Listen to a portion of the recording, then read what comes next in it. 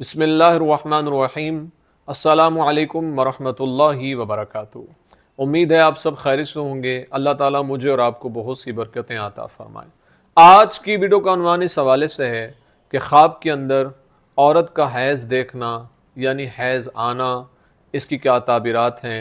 मर्द अगर ये देखता है कि उसकी बीवी को हैज़ आया है, या फिर मर्द अगर ये देखता है कि उसकी बीवी हैज़ से पाक हुई है और उसने गसल किया है तो इसकी क्या ताबीरात हैं?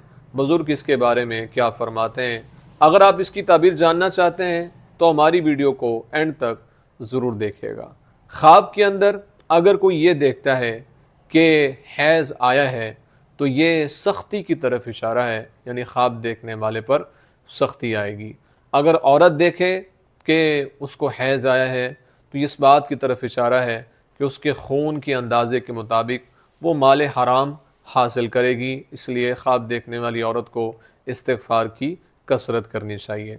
अगर मर्द अगर ये देखता है कि उसकी बीवी को हैज़ आया है तो ये भी ख्वाब देखना अच्छा नहीं है। ये इस बात की तरफ़ इशारा है कि उस पर दुनिया के काम जो हैं वो बंद हो जाएँगे, यानी वो जो काम करना चाहता है, जिस काम का इरादा रखता है, उसमें तकलीफ़ पेश आएगी और उसमें रुकावटें पेश आएँगी। इसलिए ख्वाब देखने वाले मर्द को इस्तफ़ार की कसरत करनी चाहिए और सदका करना चाहिए।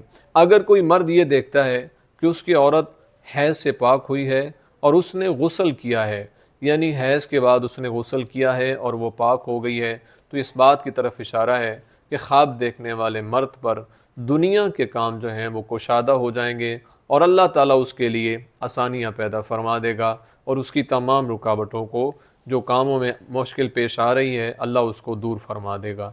इसलिए ख्वाब देखने वाले मर्द को अल्लाह के हुजूर शुक्र अदा करते रहना चाहिए। उम्मीद है आपको वीडियो पसंद आई होगी। अगर पसंद आई है तो लाइक, कमेंट और सदका जारिया समझते हुए उसको शेयर ज़रूर करें। और अगर हमारे चैनल पर न्यू हैं तो हमारे चैनल ख्वाबनामा यूसफ़ी को ज़रूर सब्सक्राइब करें। बेल आइकन के बटन को दबा के ऑल पे कर दें। और अगर ऑनलाइन कुरान पढ़ना चाहते हैं तो स्क्रीन पे व्हाट्सअप नंबर मौजूद है। वहाँ पे आके आप हमसे रबता कर सकते हैं।